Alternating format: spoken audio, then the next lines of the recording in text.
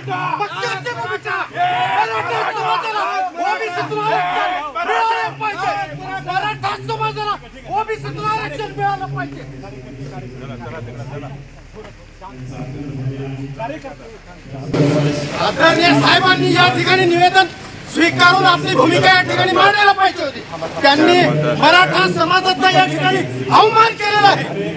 अहो ते त्यांनी एक तरी शब्द या ठिकाणी बोलला पाहिजे होता. मराठा समाज ओबीसीत गेला पाहिजे का नाही हे भूमिका त्यांनी का मांडली नाही? ते यावर का उत्तर दिलं नाही? या- अहो मी अगोदर समाजाचा आहे. पक्ष आणि जात यात मी जातीला निवडलाय.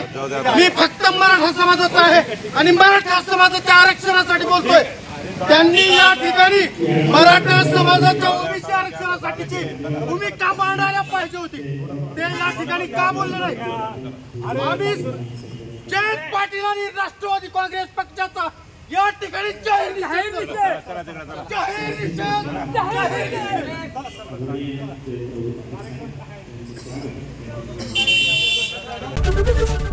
एबीपी माझा.